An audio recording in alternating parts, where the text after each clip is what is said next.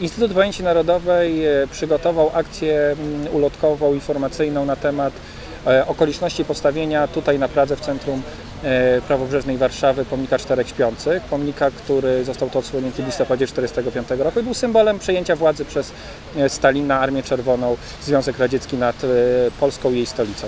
Ten pomnik został tutaj postawiony w 1945, a rozebrano go przy budowie metra. Dzisiaj, kiedy warszawiacy wypowiadają się na ten temat, czy warto ten pomnik przywracać, czy nie, chcieliśmy dać gaś informacji, które pozwolą im podjąć odpowiednią decyzję. Bardzo proszę, proszę bardzo. Proszę bardzo, dla Pana.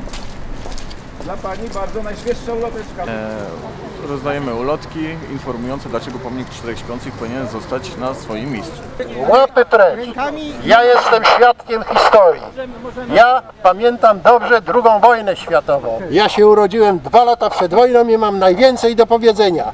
Kolega towarzyszy mi, chcemy przedstawić Ja oficjalne pamiętam- stanowisko partii Twój Ruch. Proszę bardzo. Nie można zakonywać historii i udawać, że Warszawa nie została wyzwolona przez żołnierzy polskich we współpracy z żołnierzami radzieckimi. Druga rzecz, e, A od kogo została wyzwolona?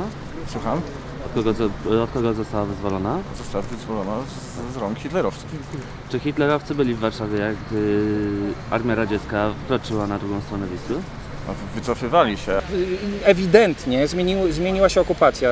Zostali wyparci Niemcy, weszła tutaj Armia Czerwona. Tylko proszę pamiętać, że to jest sytuacja, w której e, duża część tych, którzy czekali na wyzwolenie po kilku, kilkunastu tygodniach uznała, że tego wyzwolenia nie ma.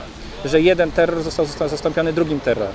E, Jeżeli mówimy o wyzwoleniu w roku 1944-1945, proszę pamiętać, że o tym, czym jest wolność po wyzwoleniu, mówiła mm, Karta Atlantycka, mówiła Deklaracja Narodów Zjednoczonych. Żaden z tych elementów, które tam zapisano i które między innymi sygnował rząd polski, oczywiście ten na- legalny na uchodźstwie, e, nie została dotrzymana. Więc Armia Czerwona wyparła Niemców, zmieniła się jedna okupacja na w tym momencie drugą okupację, mówimy o roku 1944-1945, Mm, e, a wrogowie zostali inaczej zdefiniowani, chociaż wielu z nich, tak jak e, walczyło z armią niemiecką, tak samo musiało walczyć z armią sowiecką.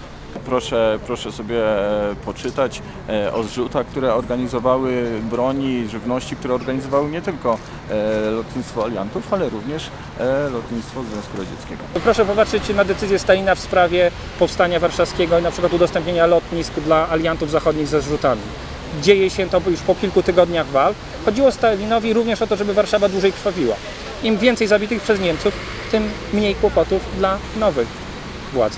Chciałbym panu symbolicznie przekazać portret Kazimierza Pużaka, na pewno znanego, mam nadzieję, państwu socjalisty, członka parlamentu podziemnego i przewodniczącego tego parlamentu aresztowanego przez Armię Czerwoną NKWD w 1945 roku.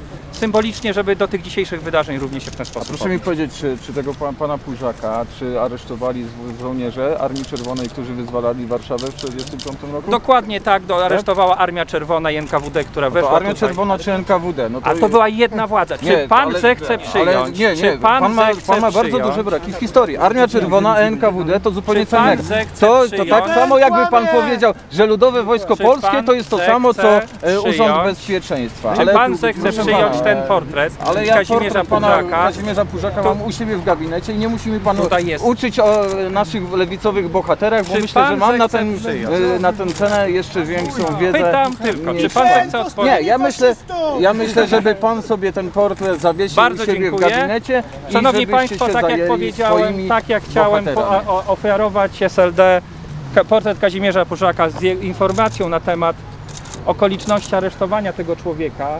Tego człowieka, który, przypomnę, był szefem polskiego parlamentu podziemnego, wówczas kiedy ten, y, ten sam parlament, znaczy nie ten sam, tylko parlament komunistyczny tutaj się, e, tutaj się e, umieszczał.